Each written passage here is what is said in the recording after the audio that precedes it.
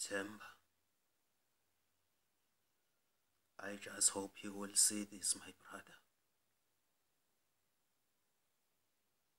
Maybe I did not get a chance to be famous, Temba. But I also fought for this country to be free. I was among those people who were in rallies, funerals, political boycotts, Temba. I was there too. We all wanted a better life for all.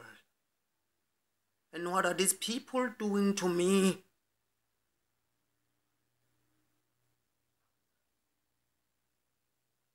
Now, it is so strange when I'm ranking on a queue waiting to cast my vote. Nobody can comment about my age.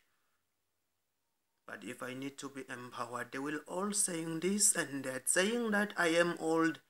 How old was Nelson Mandela when he became the first president of the ANC? Hmm? 63. 63 years old and I am 52. All I wanted was to be a chief librarian of Port Elizabeth Public Library. Was that too much to be asked? Only for two years?